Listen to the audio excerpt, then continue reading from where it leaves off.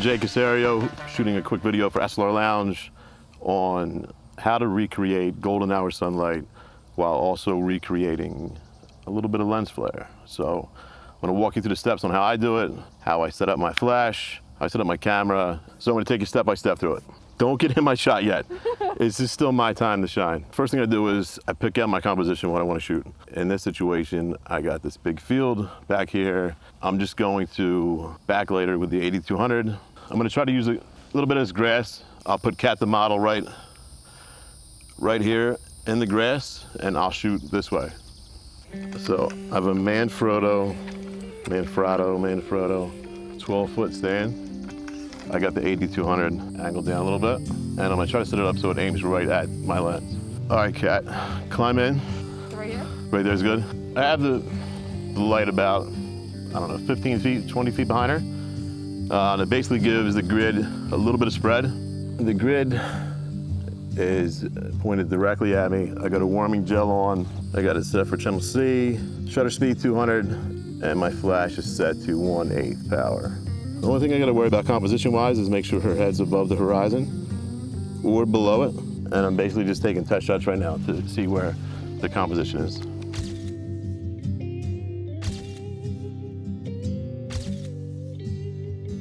So now what I want to do is I want to put it off to the side a little bit so it's not directly behind her.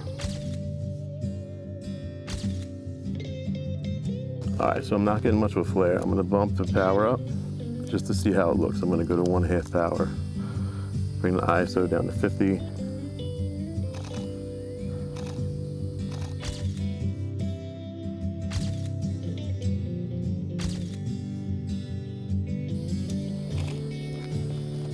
So all I'm doing right now is just trying to get a better composition.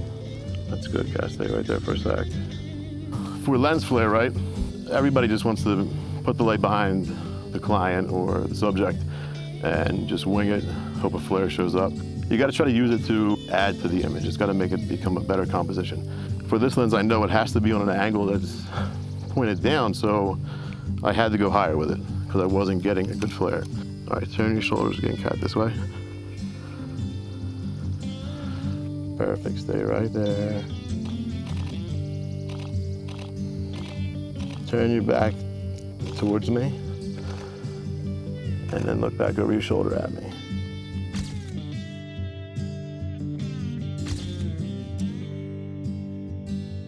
All right, so one more thing I'll do is I'll try to get some kind of other, I can't say foreground element because it's not between me and the subject, but it's between the subject and the flash to almost make a better composition, get more depth to the image, make it more 3D, make it pop a little bit more.